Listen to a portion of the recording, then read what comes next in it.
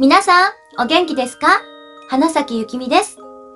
もうすぐ2月14日、そう、バレンタインデーですが、男性の皆さん、チョコレートもらえそうですか？どうかな？まあ、バレンタインデーもそうなんですが、2月14日といえば、私にとっては、そう、アコースティックライブボリューム9、甘やかな時。ということでね、えー、もうアコースティックライブまで数日となりました。ドキドキ、ワクワクなんですけれども、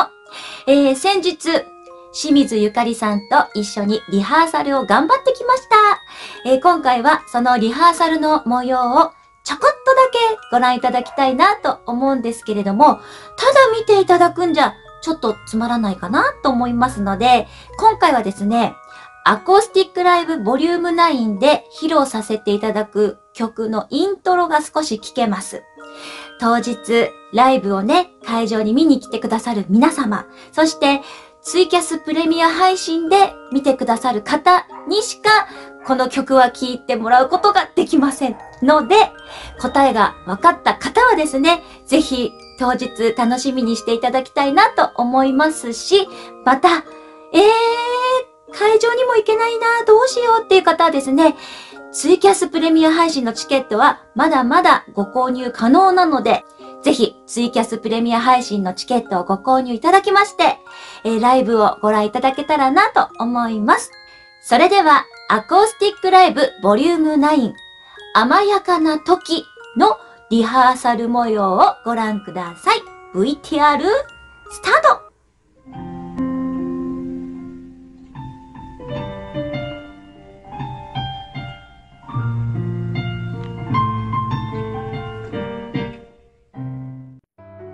おっと、いいところで、ちょうどね、私が歌い始めるところで違う音楽に変わってしまいましたが、えー、先ほどね、清水ゆかりさんが、えー、ある名曲のイントロをピアノで弾いてくださっているところが聞こえたかなと思うんですけれども、えー、これは当日歌うね、ある名曲です。皆さんお分かりいただけたかなと思うんですが、えー、このまま普通に映像を見ていただくと私の口の形とかでね、えー、歌詞がねどんな歌詞かもう分かっちゃうので何の曲かもう本当にすぐ分かってしまうと思います。なので、えー、ちょっとだけね意地悪で映像をぐるぐる回したり しておりますが皆さん目回ってませんか？大丈夫？以上リハーサルの模様でした。というわけで、アコースティックライブボリューム9、甘やかな時のリハーサル模様をご覧いただきました。えー、イントロはね、えー、清水ゆかりさんの、えー、ピアノの音色を聴いていただきましたけれども、私が歌い始めるところからは何の曲かバレてしまうので、違う曲がね、流れてましたけれども、もう皆さん、あの名曲なんで、きっと何の曲かお分かりいただけたかなと思うんですけれども、それは本番まで言っちゃダメ内緒です 皆さんの心の中に答えはしまっておいて、当日答え合わせをしましょう。合ってると思うけど。はい。そして、えー、先日ね、この動画にも上げさせていただきましたけれども、えー、黒幕 T からの指令書の中に書かれていた4曲。もう一回おさらいしたいと思いますけれども、リサさんのグレンゲ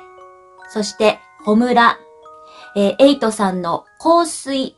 氷川きよしさんの限界突破サバイバ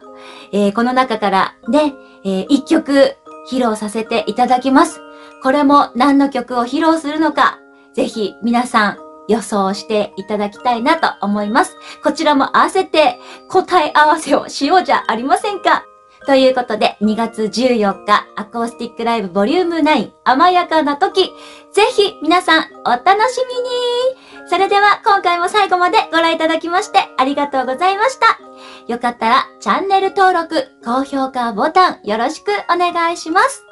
それではまたお会いしましょう。花咲ゆきみでした。またね。